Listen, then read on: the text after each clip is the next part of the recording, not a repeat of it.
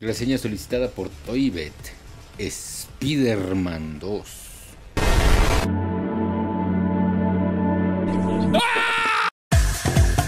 Obvio con el gran éxito que tuvo en 2002 Spider-Man, dirigido por Sam Raimi, eh, que bueno, por aquellos días era más conocido por eh, Evil Dead. Desde ese momento es el tipo que hizo las películas de Spider-Man con Tobey Maguire, el Spider-Man más querido de todos los tiempos, que ahora al parecer, según dicen, está por volver en las películas del MCU. Pero el tema en este momento no es ese, es Spider-Man 2. La considerada por todos casi de manera universal mejor película de la trilogía de Spider-Man de Sam Raimi. Y sí, y no. No para mi gusto, porque me sigue gustando más la primera. La 2 es la que más he visto porque la tengo en DVD. Y es cierto que muchas de las cosas muy Sam Raimi que estaban presentes en la primera, como lo del, lo del Duende Verde, interpretado por William Defoe, teniendo su lado malvado y esas escenas medio creepy, muy al estilo de, lo que solía ser Sam Raimi en, por ejemplo, la primera o segunda Evil Dead. Aquí están también presentes Alfred Molina en el papel de el Doc Ock. Puede que no sea tan que tú lo ves y dices, oh, este men está loco, como pasa con el, el Duende Verde de William Defoe. Sin embargo, es un personaje eh, en el cual se vuelcan muchas de las cosas que le gusta a Sam Raimi a, producir incomodidad y tal vez si quieres tú un poco de, terror. Un terror muy, muy leve porque finalmente sigue siendo una asiento familiar y más bien pensada en que muchos niños irían a verla.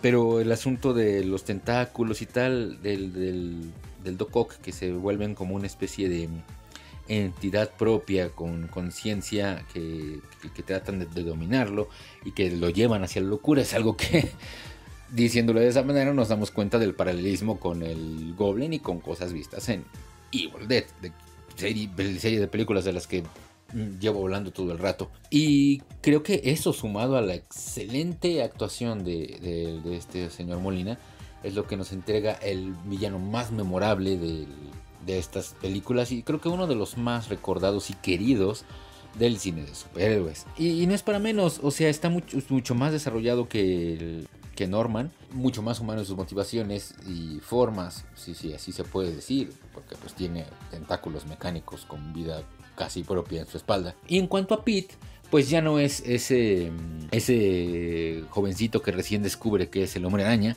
ya lleva algún tiempo siendo Spider-Man y aquí lo que vemos retratado es cómo es que eh, sus deberes de Spider-Man entorpecen sus, o sea, sus logros como Spider-Man eh, entorpecen sus logros como en la vida personal y un poco viceversa, haciendo como que este contrapeso, algo, algo que sí, sí ha jugado con Spider-Man bastante en los cómics en más de una ocasión y que ah, en esta trilogía cometieron el error de en la tercera volverlo a hacer, pero aquí es donde se ve bien retratado. Creo que mm, tanto Tobey Maguire como Christine Dunst y el mismo Sam Raimi se encuentran en un punto en el que ya están mucho más familiarizados con los personajes, por lo cual todo se siente más... Em, orgánico. Es una película también un poco más mm, con, más acción y tiene esta escena famosa del, del tren que donde Spider-Man salva a la gente esta y luego todos lo meten y, lo de la máscara que sí está bien chida, pero para mi gusto es un tanto cursi, pero pues no sé quién soy yo para cuestionarme las escenas más queridas y recordadas del, una vez más, cine de superhéroes.